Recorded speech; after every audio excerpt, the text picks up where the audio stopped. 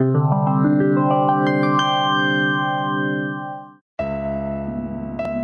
Time is a counselling and psychological services provider based in Small Heath in Birmingham. My Time offers a counselling service that considers the individual in a holistic way that accepts cultural and faith sensitive differences. One of its key strengths is providing psychotherapy and counselling support for men, especially men from different cultures and backgrounds.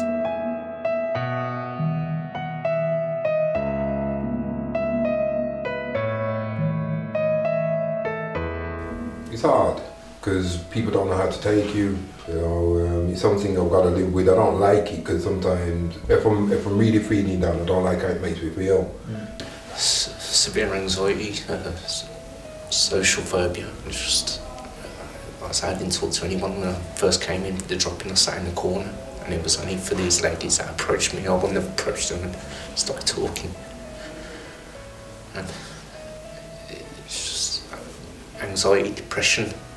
I'm, in my country is a big uh, war, so I escaped from the war. So when came first time here, I'm depressed and uh, we don't know anything because we don't have friend, we don't have, so we cannot sleep in the night.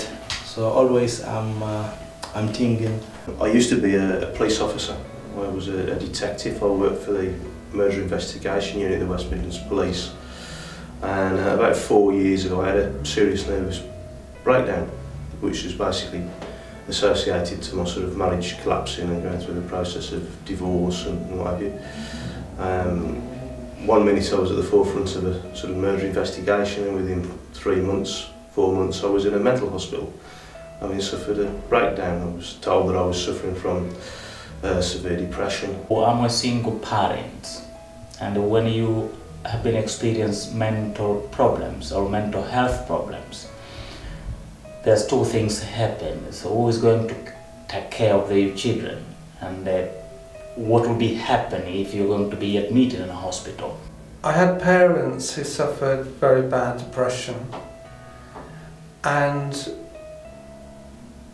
that obviously affected me. And in my first marriage, um, the mother of my children uh, experienced um, long periods uh, of depression. And that's why I became a single parent. And through that time, if there had been an organisation that uh, would have supported um, us as a family, then my family might have uh, been together.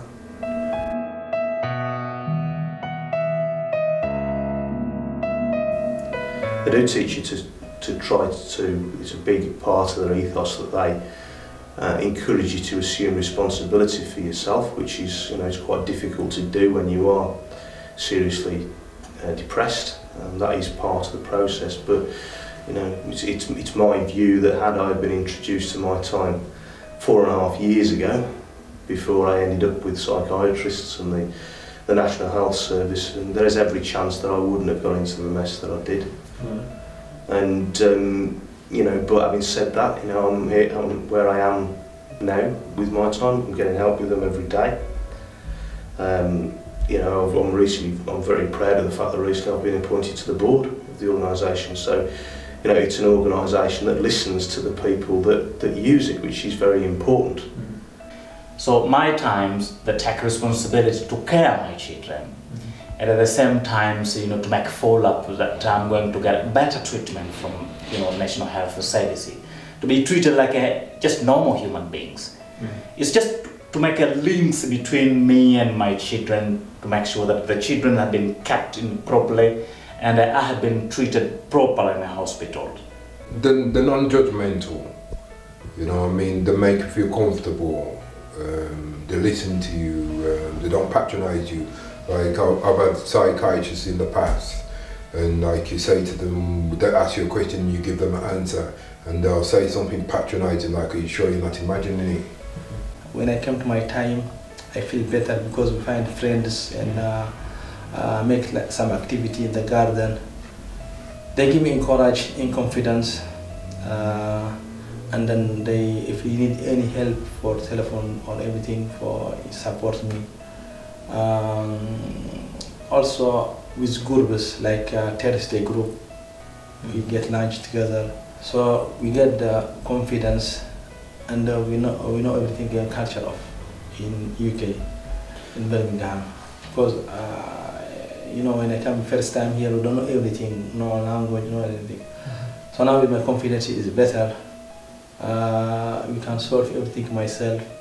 Uh, my time um, way of uh, uh, therapeutic way is very uh, very very nice and uh, it is friendly environment everybody is happy So I went back to my doctor's surgery and they referred me to a place called My Time and I received counselling and they got me to a place where I wanted and I was much happier and it pretty much saved me. It, it did. I, I mean, oh, I, I, I feel I wouldn't be here today if it wasn't for this organisation and the, the, the work that they do is it's, it's, it's, it's mm, not enough people know about it.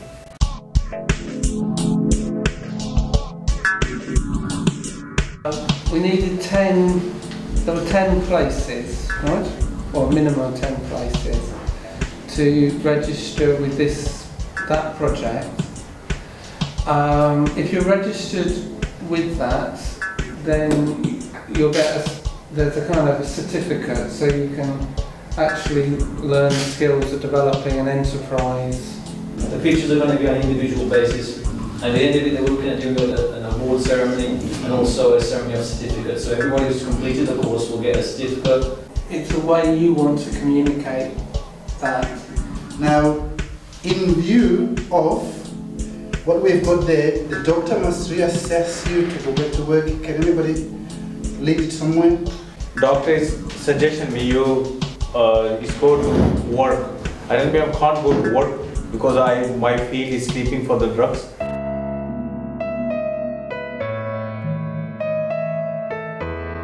my time I've got very strong dedicated teams, very experienced, uh, very knowledgeable teams who knows what to do in particular when you have been experienced those type of problems. Michael, the, the man that runs it, Michael Lilly, he admitted to us that he's been through mental health issues, so he knows what it's like not to be listened to and everything. And um, when you've got somebody, a professional, that's basically that you deal with, that's been through similar situation that you've been through, you find it easier to communicate with them. Six weeks, you always hear the word six weeks, you know, and six weeks isn't enough to tell the first week of your life, you know, it's not. Mm. And to go to tell all your life in six weeks and then for them to say, you know, okay, you know, you should feel better now on your way. It, it, it, it, it, that's what I got at different organisations. But when I came here, I had the six sessions and the, asked, he, he said he weren't, you know, and he gave me another six and another six. And he got me to where not only I wanted to, where he wanted to see me, just talking to people, just not having that social fear in me, just to approach someone and here uh, you can get uh, a total involvement but the other organization uh, i have been uh, in, in some organization they do just paperwork and uh, then whether you are okay or not you know uh, they don't bother about that I find all service here because when you need anything, we solve me easier. Yeah. No take time. If you need any help, easier I can find here in my time. You know, I've turned up at my time in some pretty desperate states. I've never been told, I can't, I've never been told to turn away, to go away or to, you know, uh, we haven't got time to speak to you, you'll have to book an appointment tomorrow or, you know, it's got that ethos and uh, it's not, it's not, it's not an ethos in terms of a, a corporate mission statement. It's, that's the way the organisation works.